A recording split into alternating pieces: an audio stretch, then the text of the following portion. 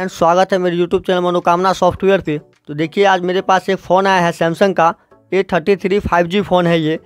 और इसमें क्या प्रॉब्लम है वो आप लोग को बताएँगे। तो देखिए, इसमें टच वर्क नहीं करता है। जैसे कस्टमर का कहना है सैमसंग का अपडेट आने के बाद फ़ोन अपडेट किया और उसके बाद टच नहीं काम कर रहा है इसके अंदर। तो सैमसंग में दोस्तों, अक्सर भी फ़ोन आता है, जितने भी फ़ोन आते हैं सैमसंग में, अक्सर में ये प्रॉब्लम आता है। तो ये प्रॉब्लम क्यों आता है? अगर आप कॉपी डिस्प्ले लगाते हैं तो कॉपी डिस्प्ले में अपडेट कर देते हैं फ़ोन को तो वो टच काम करना बंद कर देता है। तो इसका क्या प्रॉब्लम होता है और कैसे ये प्रॉब्लम का सोल्यूशन होगा तो आप लोगों को इस वीडियो में ज़रूर बताएँगे और इस का टच काम करके भी दिखाएँगे। तो प्लीज़ आप लोग पूरा वीडियो में बने रहें। तो चलिए हम चलते हैं अपना कंप्यूटर स्क्रीन पे और आपको हम दिखाते हैं तो इसको हमको करना क्या होता है, इसको हमको फ्लेश करना होता है। सॉफ्टवेयर इसका जो है, हमें न्यू टच फ़ाइल वगैरह जो आता है, इसका मोडिफाइड फेमवेयर आता है फ़ाइल वो हमें इसमें अपडेट करना होता है। तो चलिए देखिए ओडिन टूल है, हमने एक डाउनलोड कर लिया है ओडिन टूल और इसका हमने फ़ाइल भी डाउनलोड कर लिए हैं। आप लोगों को फ़ाइल इसका लिंक हम डिस्क्रिप्शन में दे देंगे। ये सैमसंग का A thirty three five G phone है, और इसका टच काम करना बंद कर दिया है।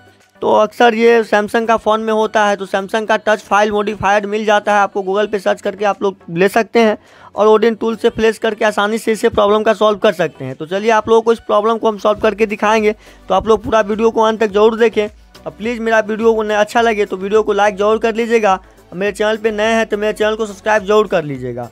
तो दोस्तों देखिए, हम आप लोगों के लिए सॉफ्टवेयर हार्डवेयर का मोबाइल का कोई भी प्रॉब्लम आता है, वो वीडियो लेके अपडेट आते रहते हैं।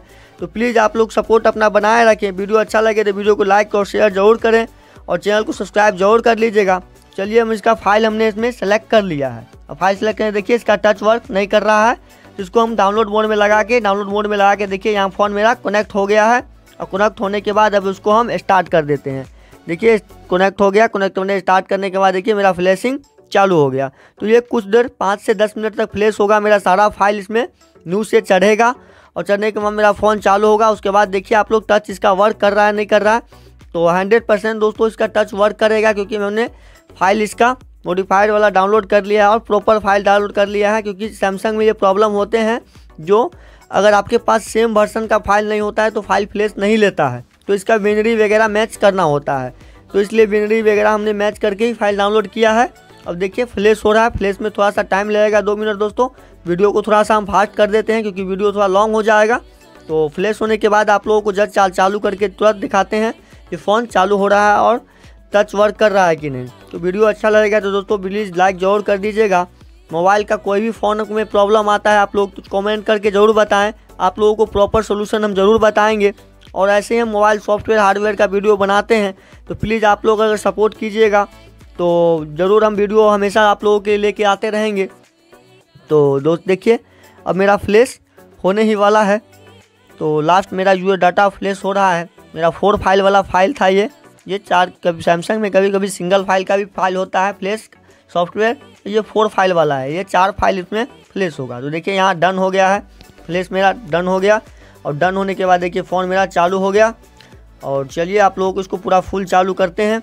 चालू करके दिखाते हैं तो इसमें होता क्या है दोस्तों? आप लोग पूरा डाटा खो देते हैं, क्योंकि इसमें डाटा का जाना जाना तय है, क्योंकि डाटा आप इसमें कोई कंडीशन में नहीं बचा सकते हैं।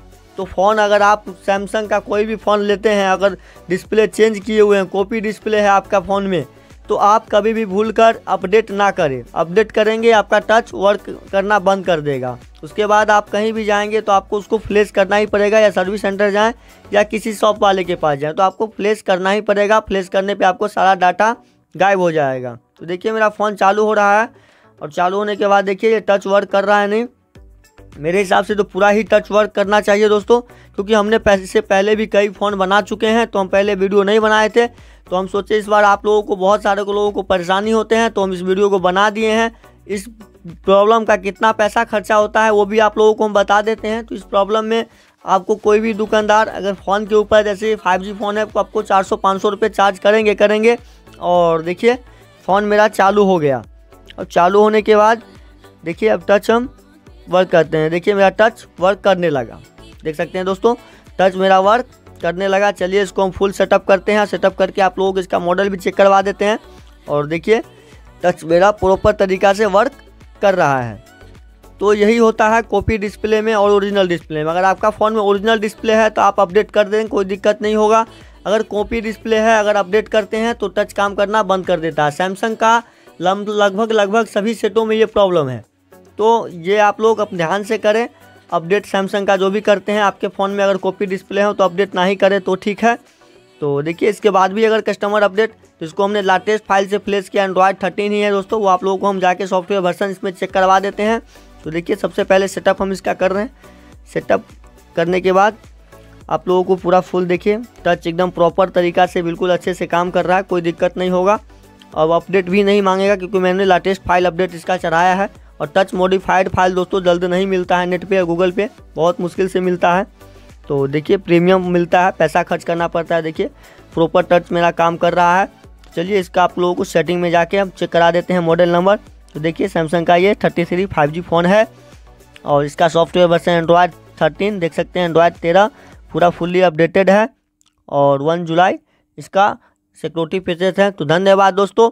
वीडियो अच्छा लगे तो वीडियो को लाइक शेयर ज़रूर कर दीजिएगा चैनल को सब्सक्राइब ज़रूर कर लीजिएगा और आप लोग ऐसे ही सपोर्ट कीजिए हम लोग को तो आप वीडियो ऐसे हम लेकर आते रहेंगे। तो धन्यवाद, मिलते हैं फिर से किसी दूसरे वीडियो में। तब तक के तब तक के लिए जय हिंद, जय भारत दोस्तों। तो देखिए, बिल्कुल मेरा टच ओकर प्रॉफिट काम कर रहा है तो धन्यवाद दोस्तों।